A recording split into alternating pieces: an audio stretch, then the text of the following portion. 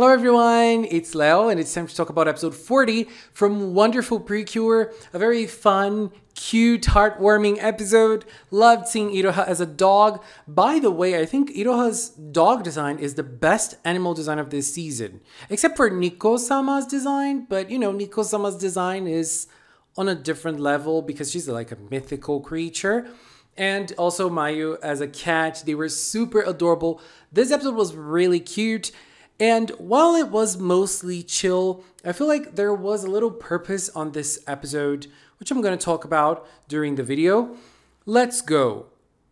Girl, the incident itself was very funny, but I like how the writing ties things off. First, uh, Satoru had the idea of them going to the Toboi shrine because Kara something, I forgot her name, oh my god. Uh, one of their classmates told Satoru that people have created that specific shrine for the dead wolves in the past. And when Satoru mentions this, uh, Nico-sama mentions that there are bad humans, but there are also good humans. Because, you know, the humans were the ones who killed the wolves, but there were other humans who thought of the wolves and uh, considered them enough to create a shrine to honor their existence. So uh, it's nice to balance things out because it's very hard to balance things out in this situation. So I feel like Wonderful is trying in every moment they can. But Satoru also thought of that shrine because of other things that happened in the series. One of them is that moment that Gao awoke for the first time and created Torame and Zakuro or awoke Torame and Zakuro as well. And there were posts on social media of wolves coming from the mountain. And also, Komugi listened to Gao howling in an earlier episode as well. And she thought that the howl came from the mountain. So, you know, those things made Satoru realize that he might have been there. He was not there. And um, we have Komugi and Nico trying to find, and they could sense his presence, but he was not there any longer. Yuki was able to enter there, and there was nothing. Oh, what did you guys think of the winter costumes? Girl, I think they're so ugly. There's not one that I like. The one thing I do love is Mayu's, uh, the color of Mayu's dress. I love that color. But the dress itself, I I hate all the four of them. Satoru's is okay, I feel like, but girl, the four of them, I, I'm sorry, they're hideous. But um, Nico uses a lot of her power and she cannot control it. And because of her uncontrolled power, they are turned into animals. Iroha and Mayu are turned into animals. And we have lots of cute and very funny scenes. Nico-sama's reaction to their transformation is priceless. And Nico-sama does not care. She's just having a good time. You know, she's just having fun. She's she she was feeling sad before when they were talking about Gao, when they were talking about the wolves we had some sad faces on Nico, but apart from that, girl, the rest of the episode, she was just having a great time. And then she said that for her power to come back so that they could be turned into humans again, they would have to gather lots of Nico Nico smiles. Nico smiles power up Nico's power. We, we've seen that before. Animal Town powers up Nico because people and animals are happy in Animal Town and now they're just gonna have some fun since they're animals. And I just love Komugi's personality in that moment when she says, Well, you're gonna turn into humans at one point or another. We know that it's gonna happen, so let's just enjoy our moment and have some fun. It really felt like the writers were coming out of Komugi's mouth at that moment. And I loved Yuki's little shade towards her. I love Yuki's shades. Girl, she is the best to throw shade in this season for sure. And, you know, they just started having fun. Iroha and Komugi running together. I love how Iroha was feeling being a dog and how fun she was having. And then we have Mayu and Yuki as well. Yuki having a lot of fun with cat Mayu. Mayu was melting and uh, she also played with uh, Mayu's belly, just like Mayu does with her. And Mayu gave her a cat punch paw in the face. That was so adorable. They played with a cat toy as well. Girl, there is so much personality in this show. This season, it just exudes personality every single moment. I love it. It's so consistent when it comes to each character's personalities and their traits. It, it's very recognizable. I think it's priceless. Honestly, it's priceless. And then Satoru sees Iroha with other dogs. He, he starts feeling jealous. He gets her. They get to a more secluded place, only the two of them. They blush. Iroha's tail is wagging, and Komugi tells her that when it's wagging like that, it's because she is happy. That's how dogs are. Not always, but you know, for a show like Precure, that is enough information that we need. And Komugi, uh, you know, just witness.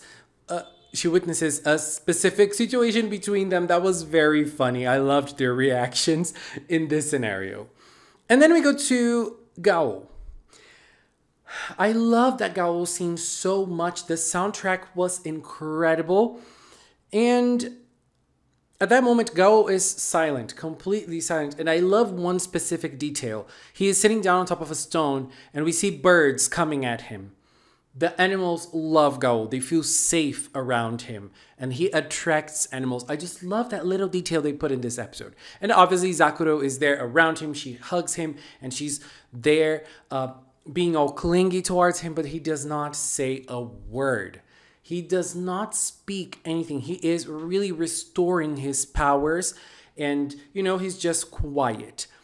And Torame is bored and so he wants to go play and he leaves the place and he creates uh, Gao Gaon with a Garu Garu egg, and the girls notice. It's very funny that now also Iroha and Mayu notice that there's a Gao Gaon because they are animals, and so they also have the ability that Yuki and Komugi have. And then they go, but when they go, both Iroha and Mayu are still animals, and Nico is just uh, in front of them, and she says, Well, it's your lucky day my powers are back, so I can restore you. you know, Nico was just playing around as well. She was just having fun seeing them as animals.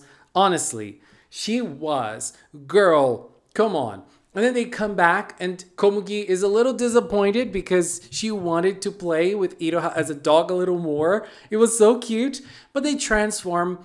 And uh, the action scene in this episode is basically a session of red light, green light, which is a kid's play. And it's very funny that uh, in different places of the world, we have this and it's it has a different name depending on the culture, but children play this all over.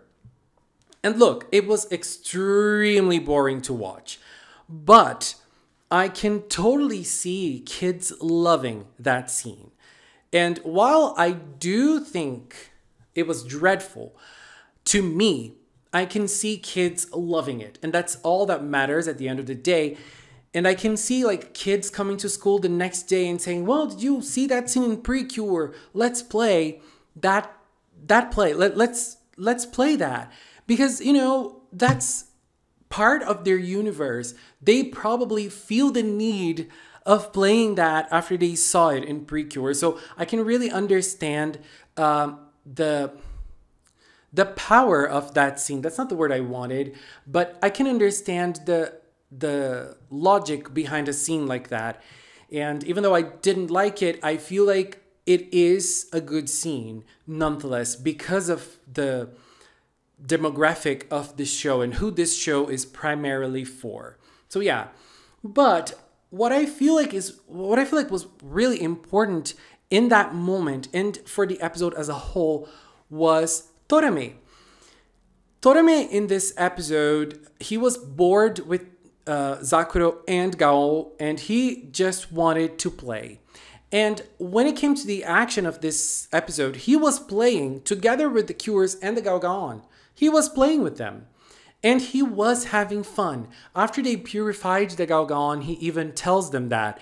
He was laughing, he was enjoying himself, and he goes away. And the Cures mention among themselves that he only wants to have a good time. And after this, I started noticing that excluding Gao, when we're talking about Torame and Zakuro, they are both looking for affection. Zakuro desperately is looking for Gao's affection every single time, and when it comes to Torame, he is really wanting to find some good moments for him, but with others, not by himself. He's always looking for fun with other people or other animals. And this makes me believe that those wolves, they do not have the same grudge as Gao did. I mean, they do, but not in the same intensity as Gao. Maybe Gao was the, the main reason or like the first wolf to befriend a human in the past. I don't know. Uh, I I mean, when I said the main reason, I don't I'm not blaming the wolves. I'm saying that he was probably the main wolf from the pack that had a relationship with a human, a friendship with a human and wanted to communicate with that human. So that's the re- that's why I'm mentioning the reason. Uh, but Torame and Zakuro it feels like they're still looking for affection. They're still looking for feelings. And Gao doesn't seem to be. His only feeling is his wanting of revenge. That's all he wants to do. And so at the end of the episode, we have a very lovely scene of himself, Satoru, turning into a rabbit. Girl, I was so pissed that we did not have Daifuku in this. Why do they care so little about Daifuku? Girl, I was a little angry, but I was having a lot of fun with the scene itself as well. I, you know, the way Satoru's personality is constructed is really good. And, you know, the way he was running and he was spilling facts about uh, rabbits in his mind while he was running simply incredible. I love it. I love that moment as well. And, you know, very sweet, heartwarming episode that I feel like was able to make a point, a stance about Torame and by consequence Zakuro as well, because it made me notice something about her, uh, something about both of them. And next week, Yuki is gonna shine with a beautiful green costume Green Cure next season, 2025 Precure is gonna have a green cure. Girl. I'm joking. And we're gonna have the uh, uh, Kitsune again. That's gonna be everything. I'm gonna love it. Anyways, babies, this was my view on episode 40 from Wonderful Precure. Please share yours in the comments. Let's keep talking about it. Anyways, this is it for now. I wanna take this little time to thank the members of the Magical Cinnamon channel. If you're a member here on YouTube, if you're a member on Patreon, if you support me on Throne, thank you very, very, very much for your support. And if you've watched until thank you so much as well. Thanks so much for watching, and until next time, bye bye.